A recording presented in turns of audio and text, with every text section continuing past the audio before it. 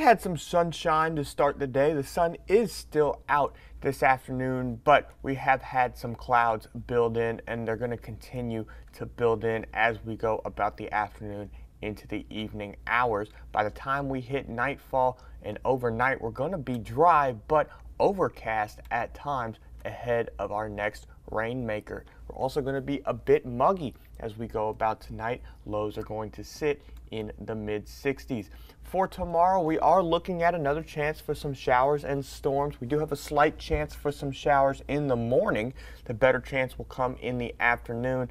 We also may see a thunderstorm or two as we go about the afternoon hours. Taking a look at our future track for tomorrow, you saw that first round of showers moving through earlier in the day. Here comes the second round, and by about dinner time, quite a few of us are going to be seeing some heavy showers and even hearing a rumble of thunder as we hit the evening tomorrow.